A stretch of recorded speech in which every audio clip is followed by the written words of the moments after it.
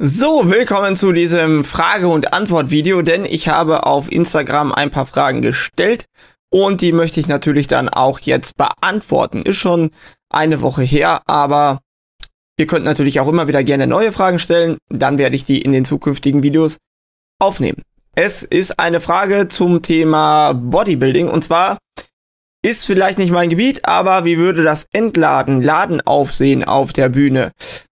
Ja, das ist natürlich wirklich nicht mein Gebiet und da sollte man vielleicht auf die Leute hören, die sowas eben auch schon seit Jahren entsprechend machen, wobei es da auch sehr unterschiedliche Methoden gibt. Nutzt man da jetzt irgendwelche Entwässerungstabletten oder ähnliches oder nicht? Und das Ganze vielleicht auch ketogen zu machen, ist vielleicht auch wieder nochmal eine andere Art, die man machen kann. Grundsätzlich würde ich aber immer dazu raten, dass man, wenn man eben laden möchte, das Ganze eben dann ordentlich macht und nicht mit irgendwelchen dreckigen Sachen in Anführungsstrichen, also Gummibärchen oder ähnliches, würde ich deshalb auch vermeiden, weil eben dann auch der Zucker drin ist, wo die Hälfte ja aus Fructose und die andere Hälfte aus Glucose besteht. Und das kann natürlich dann eventuell auch zu Problemen führen. Worauf ich dann eben achten würde, wäre zumindest dann auch das Ganze aus langkettigen Kohlenhydraten oder irgendwie Maiswaffeln oder sowas dann zu machen. Beziehungsweise dann eben auch darauf zu achten, dass man eben nicht auf der Bühne steht und Krämpfe kriegt, indem man dann auch natürlich an Salz und Wasser in ausreichenden Mengen denkt, denn man hat natürlich seinen Elektrolytehaushalt durcheinander gebracht durch die ganze Sache.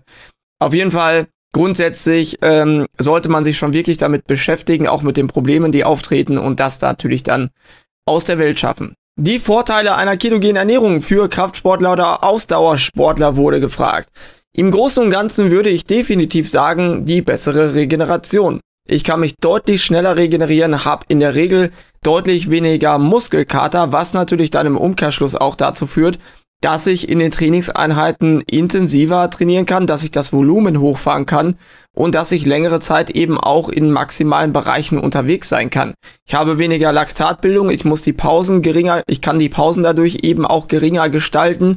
Ich habe grundsätzlich natürlich dann, dass ich eben vornehmlich auch mit Fett arbeite, habe ich weniger das Problem, dass ich dann Energieschwankungen in irgendeiner Weise drin habe und, und, und. Also es gibt schon sehr viele positive Effekte durch die ketogene Ernährung, sowohl im Kraftsport als auch im Ausdauersport, die jetzt über das reine Muskelwachstum hinweggehen natürlich.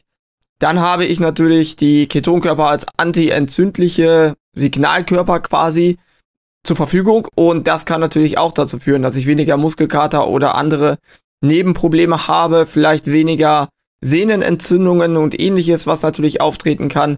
Alleine auch dadurch, dass der Muskel eben nicht so vollgepackt ist mit Glykogen und Wasser, was natürlich dann auch auf Knochen und Sehnen drückt und dann natürlich zu Reibstellen, Entzündungen führen könnte.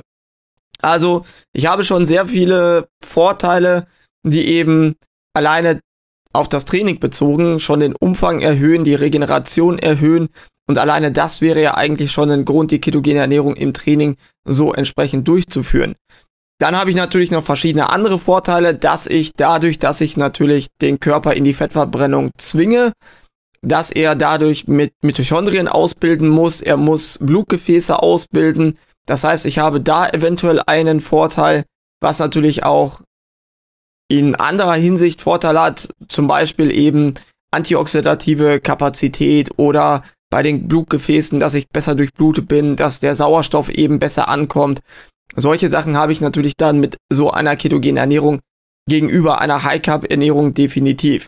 Und äh, die ganzen Vorteile an sich werde ich in speziellen Videos nochmal genauer aufgreifen, wenn es dann in die Keto-Woche geht. Eine Frage, Mängel, wenn es um die Verwertung geht. Ich weiß jetzt nicht genau, was damit gemeint ist, aber ich nehme mal an, dass damit eventuell die Verwertung von verschiedenen Nährstoffen in verschiedenen Lebensmitteln gemeint wird.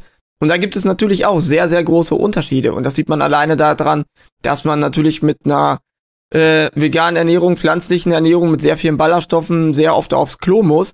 Und dann kann man sich natürlich auch vorstellen, dass da natürlich einiges durchschiebt und relativ wenig dann auch im Darm aufgenommen wird, im Gegensatz zu Fleischprodukten, die natürlich dann fast vollständig zersetzt werden und vollständig aufgenommen werden.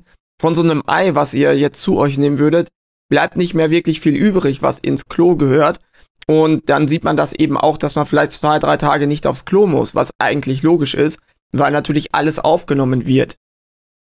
Die Aufnahme ist bei Produkten oder bei ähm, tierischen Produkten oder was auch immer ohne Ballaststoffe natürlich auch höher, weil es alles nicht gebunden wird. Man hat eben gesehen, dass die Aufnahme gerade auch bei Rohkostprodukten dann eben sehr schlecht ist, weil solche Sachen wie Eisen, Zink, also die ganzen Mineralstoffe grundsätzlich, aber eben auch ähm, Vitamine dann eben gebunden werden und vielleicht nicht so gut aufgenommen werden. Das heißt, wenn auf der Verpackung draufsteht, oh, hier sind ja, ähm, was weiß ich, 100 Milligramm Calcium drin, dann ist es natürlich nicht so, dass das dann eben auch vollständig aufgenommen wird. Und je nachdem, wie die Zusammensetzung der Darmbakterien ist, die Magensäure ist, es hängt von so vielen verschiedenen Faktoren ab, gibt es natürlich auch sehr viele Menschen, die dann Probleme haben. Sehr viele Frauen, die dann eben einen Eisenma Eisenmangel haben. Wobei komischerweise das bei den Männern mit der gleichen Ernährung oder einer ähnlichen Ernährung eben dann nicht der Fall ist. Und da muss man sich natürlich dann auch individuell Gedanken machen, wie entsprechend das Ganze zu gestalten ist. Wenn man jetzt wirklich sagen würde, ich möchte eine Sicherheit haben bei allen, dann würde ich dann eben von einer veganen Ernährung abraten. Vor allen Dingen natürlich von einer Rohkosternährung, weil gekocht macht die Sachen besser verfügbar, auch wenn bestimmte Vitamine dann weniger verfügbar sind. Ihr habt aber jetzt nicht auf einmal gar kein Vitamin C oder sonst was mehr drin.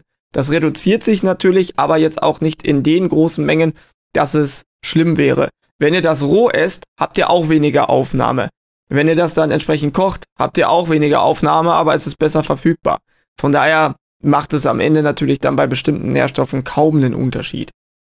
Ketonkörpersynthese wird ja unter anderem durch den relativen Überschuss von Acetylcoenzym in, im Zitratzyklus getriggert. Oder nicht im Zitratzyklus oder was auch immer. Ähm, warum ist da nach Abbau der Ketonkörper im Zielgewebe Oxalacetat? Ähm, das äh, kann natürlich auch daran liegen, dass der Körper dann vielleicht alles ein bisschen überkompensiert, überproduziert. Man muss sich vorstellen, dass Ketonkörper dann gebildet werden, wenn zu viel Energie quasi zur Verfügung steht und der Körper diese Energie aber dann nicht wirklich verwerten kann in dem Mitochondrien.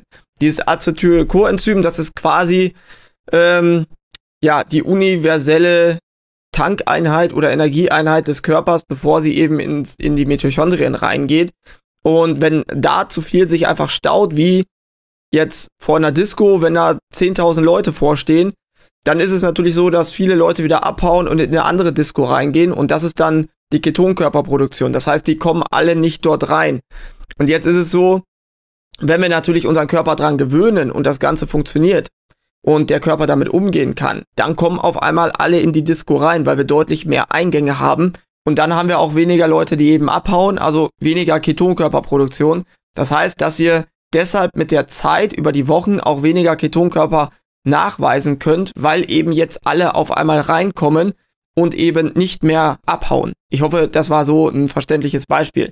Ich weiß jetzt nicht genau, was mit ähm, dem Zielgewebe und Oxalacetat eben dann gemeint ist.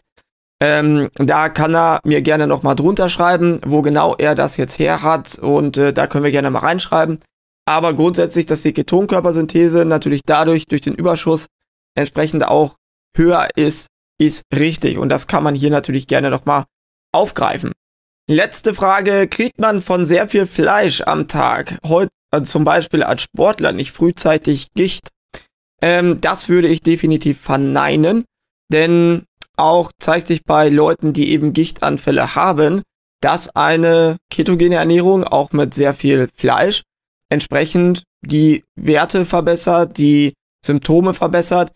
Ich gehe eher generell davon aus, dass gerade solche Sachen, äh, rheumatische Dinge, Gicht, dass die immer auch damit zusammenhängen, dass Fructose da eine Rolle spielt, dass eben zu viel Energie eine Rolle spielt, entzündliche Prozesse da eine Rolle spielen und dass es nicht per se vom Fleisch kommt.